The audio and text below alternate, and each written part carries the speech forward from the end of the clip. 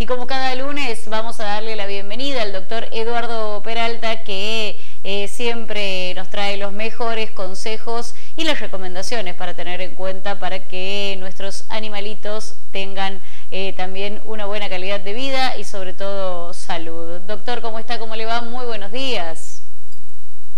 Muy buenos días, ¿cómo están ustedes? Muy bien, ¿y usted? Buen inicio de semana. Estamos iniciando la semana, fresquito, hermoso.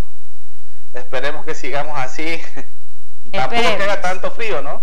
Claro, claro, así está lindo, así está bien. Ni más frío ni más calor, ahí está perfecto. Ojalá que se mantenga así al menos por, por toda la semana. Vamos a esperar eso, doctor. Tener lindo tiempo también, bueno, para eh, aprovechar, por ejemplo, y llevar nuestras mascotas a, vacunación. Importante tener en cuenta también en este sentido que nuestros animalitos también necesitan vacunas.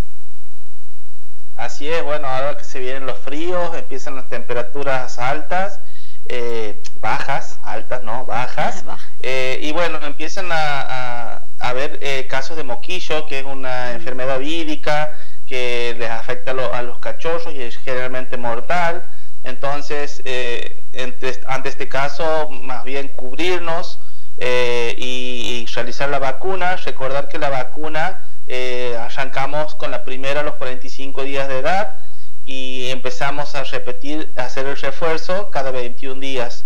Estas son tres vacunas obligatorias que el cachorro necesita para generar la inmunidad adecuada para que pueda salir a la calle, a la vereda, a pasear, al parque, a la plaza porque muchas veces eh, cometemos el error sin estar vacunados de llevarlo a pasear a la plaza y es donde contrae el virus que el virus se encuentra en el ambiente.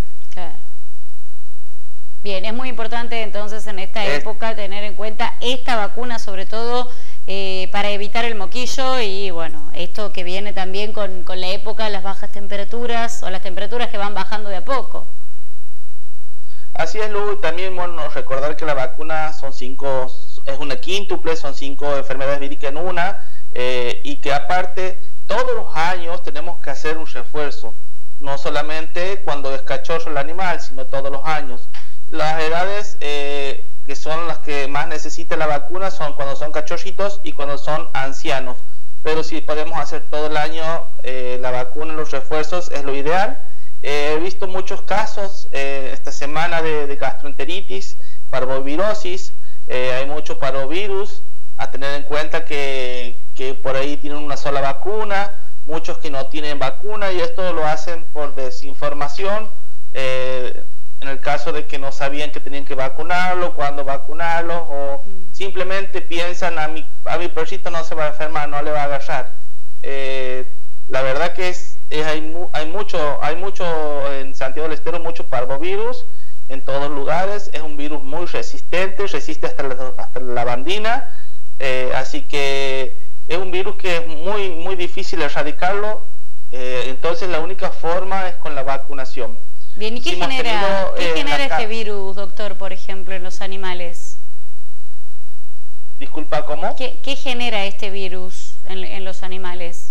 ¿Cómo se presenta? ¿Cuáles son los síntomas? Bueno, el parvovirus genera este, una gastroenteritis, que es una inflamación intestinal, eh, porque ataca el virus en las vellosidades intestinales, en lo que el animal va a empezar a hacer una diarrea sanguinolenta eh, y puede tener vómitos. Y es algo muy parecido al moquillo y pueden, pueden conjuntarse las, las enfermedades, juntarse este, aquí me están visitando ya. Ah, ahí está. Eh, pueden juntarse las enfermedades y atacar. El moquillo ataca, tiene tres fases. Tiene una fase digestiva que puede juntarse con la del parvovirus porque al bajar las defensas pueden entrar los dos virus a, jugar el rol eh, preponderante. Eh, tiene una, una, fase respiratoria y por último una fase nerviosa, que la fase nerviosa ya es mortal.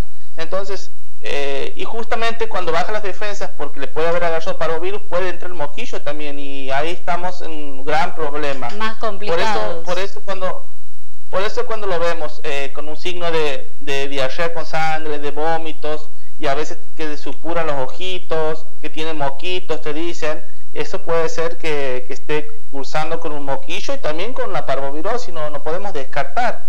Entonces, eh, para evitar todo esto, siempre, eh, por favor, cuando adquirimos un cachorro, eh, llevarlo al veterinario, consultarle qué son los cuidados que el, que el veterinario necesita, el cachorrito necesita. El veterinario le va a informar todos los cuidados, qué vacuna le toca, cuándo hacer la vacuna, por qué hacer, si lo podemos bañar, si no lo podemos bañar, si lo podemos sacar a pasear, que eso es muy, es muy importante porque muchos no saben y entonces cometen el error de primer día comprarle lo primero que, gusta, yo entiendo porque es hermoso, comprar la correa y el collar y sacarlo a pasear. Pero no, no pueden salir el cachorrito, la mascota, sin antes tener las vacunitas. Porque en el ambiente están todos los...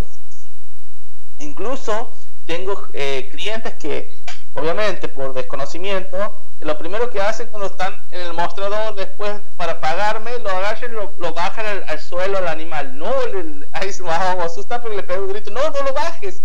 Y ahí nomás lo levanto rápido, no sabe qué pasa, ¿visto? Claro. Pasa que, bueno, en la veterinaria también entran muchos perritos enfermos.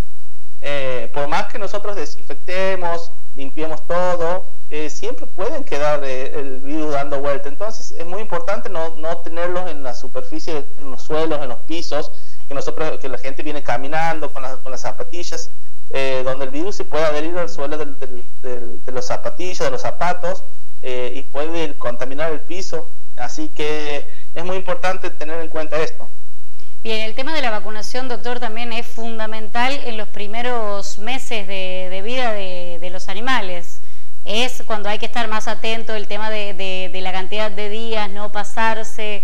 Después, bueno, ya es con un periodo más prolongado, pero al principio cuando son cachorritos es importante cumplir también en este sentido con, el calendario. Exactamente, es muy importante cumplir con, los días de la revacunación y con los días de cuando empezamos la, la vacuna. ¿Por qué empezamos a los 45 días?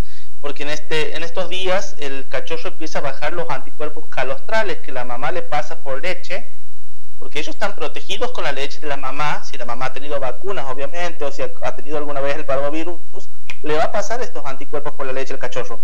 Pero ¿qué pasa? A los 45 días de, vida del cachorrito ya empiezan a, disminuir los anticuerpos de la mamá mm. y es donde puede adquirir el virus. Entonces en esa etapa es donde podemos, tenemos que colocar la vacuna para generar una inmunidad adecuada en el cachorro para que no contraiga el virus, el virus ni del moquillo, ni de la hepatitis, ni del parvovirus.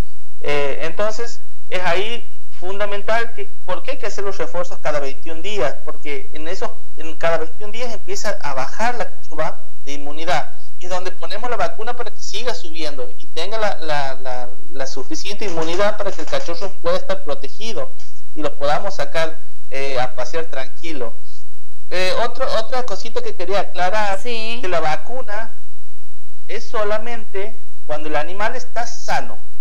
No lo podemos poner la vacuna cuando el animal ya presenta síntomas mm. con diarrea, con vómitos, porque muchas personas están equivocadas. Vienen y dicen, quiero lo traigo que le ponga la vacuna porque está enfermo.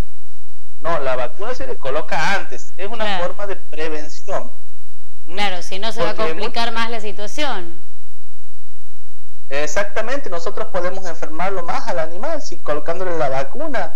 Eh, por eso siempre es lo que hay que controlar al animalito, que esté sano, que esté jugando, que esté comiendo, que no esté decaído. Es todas las preguntas que se hacen siempre eh, cuando viene un cachorrito a, la mesa de vacunación.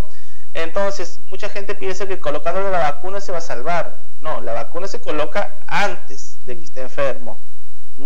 En ese momento ya cuando está enfermo, está presentando síntomas, hay que hacer un tratamiento, mm. hay que empezar a, tener otros cuidados con el animal para ver si se lo puede sacar adelante, que es cuando, eh, bueno, la, gente por ahí se bajonea mucho, porque muchos piensan que del parvovirus no, no se salvan los animales. Eh, sí se salvan, muchos animales se salvan del parvovirus, pero bueno, esto también es, es, es un, un poco de dedicación y un poco de que el animal tenga eh, un poquito de inmunidad que haya pasado la mamá para poder ayudarlo a combatir el virus. Bien, estamos hablando de la vacunación solamente de, eh, de, perros o también es importante la vacunación en, los gatos, en este sentido, cómo se da, estos virus también los afectan. Exactamente, bueno, los gatos son virus diferentes que los de perros, son otros virus, ellos no se pueden pasar los virus, o sea, el gato no puede tener un virus de perro, ni el, ni el perro tener una rinotraqueitis del, del, gato, ¿me entiendes? Entonces, es, eso es, algo que, la leucemia felina, no le podemos pasar al perro. Entonces, los gatitos tienen otra, otras enfermedades virales que son de los cachorros, que son tres, y se le coloca una triple felina, y también es de la misma forma, a los 60 días, en vez de los, 45 días, a los 60 días empezamos a vacunar los gatitos, son tres dosis también, y bueno, también anualmente tenemos que revacunarlos.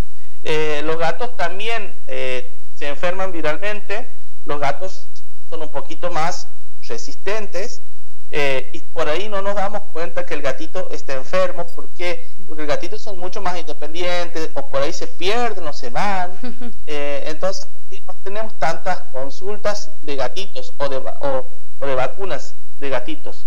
Y también que la población de, de Santiago del Estero hay, hay, mucho más perros que gatitos, digamos. Pero bueno, eh, es importante que si tenemos un gato o un gatito y no lo hemos vacunado, que lo traigamos al veterinario, que, que preguntemos, porque también están las vacunas de gatos y es muy importante que las tenga. Muy bien, doctor, como siempre, muchísimas gracias. No, gracias a ustedes. Que tenga una buena semana. Compartíamos ahí las palabras del doctor Eduardo Peralta, bueno, que nos acercaba como siempre eh, recomendaciones, información importante para poder tener nuestros animalitos con buena salud. La vacunación, importantísima sobre todo en nuestros perritos, pero también a prestar atención a los gatitos que también podemos evitar distinto tipo de enfermedades si por supuesto están vacunados.